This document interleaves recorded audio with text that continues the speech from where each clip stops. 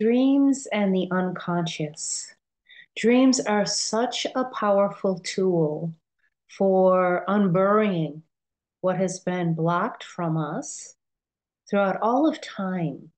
And so when some people hear the word, excuse me, the word unconscious, they often don't want anything to do with it. And then there are the mystics and those who love the mystery and who really want to wake up and be entirely conscious then they're hungry for it.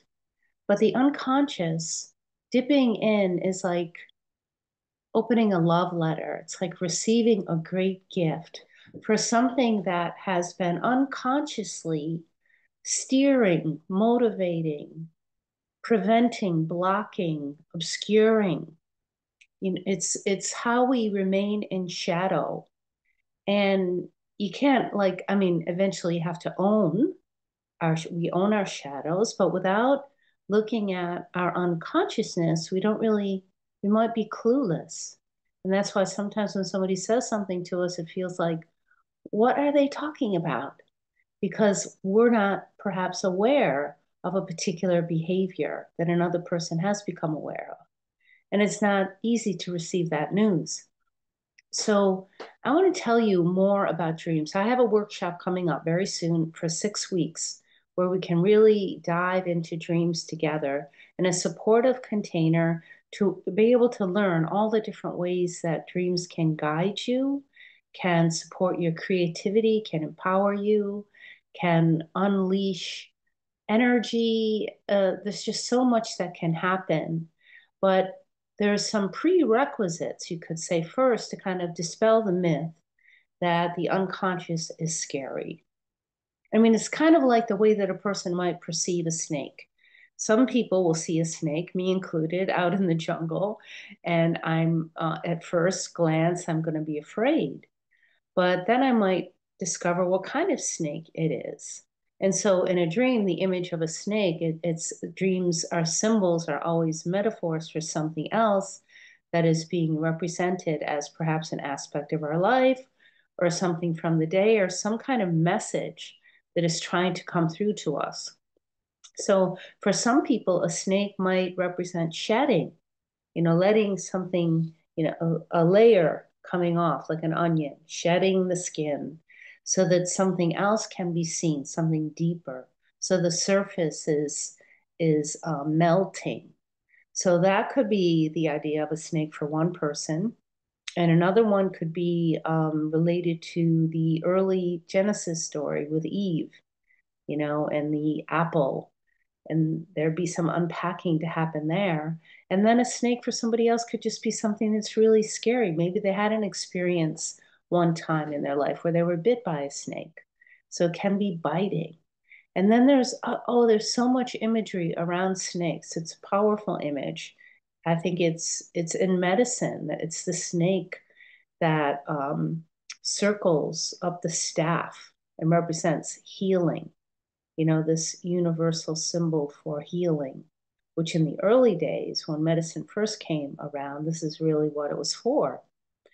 So I'm going to offer this workshop and let you in on different ways in which you can find creative solutions to your problems in your dreams you can identify areas where you may feel blocked or stuck, and you can highlight unhelpful patterns that have been repeating. And rather than shaming or making them wrong, you can just see them for what they are and then be able to befriend and integrate. And then it can point you to ways to step in, step into a greater version of yourself, a vision of yourself, and inspire your creativity and provide a luminous spiritual path. Ancestors speak to us through our dreams. The more that we connect to our dreams and pay attention to them and honor them, they do the same with us. It's like the dream maker is is waking up to our awareness of being interested in the unconscious in the dreams and it's almost like a bridge is formed between consciousness and unconsciousness. And then we're in this relationship with the dream world. And it becomes very exciting. It's like as a prerequisite, I was going to say, I talked about this before, to really be able to remember dreams, you know, you can set up intentions, rituals before going to sleep, but also the quality of our sleep matters. So, another aspect of being afraid of the unconscious, which you wouldn't anticipate, is that often people don't want to stop and rest. Like we are a culture that is conditioned to push, to not take a rest. So, in order to sleep well, we also have to rest well throughout the day. Take moments for resting socially, mentally, emotionally, creatively, physically, all the mm. different ways where we can take rest and feel the nourishment that comes with doing nothing. And wow, that is so counterintuitive, not to our real body intuitive sense, but to our culture. So, looking and seeing into unconsciousness means pausing, resting, sleeping deep, and letting um, information come to you that you don't see with the physical eyes and phys- hear with the physical ears. It's not out here in our ordinary awareness. It really brings us into a whole different realm of experience and understanding altogether. Now, isn't that exciting? So I'm Prajna O'Hara, and this is my channel. I would love for you to subscribe and leave comments if you like.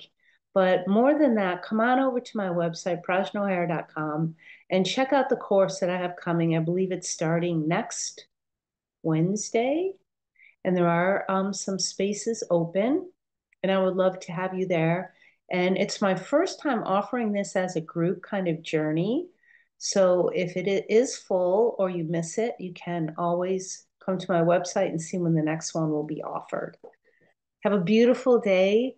Rest well, sleep well, and enjoy your dreams. See what they have to offer you. Bye for now.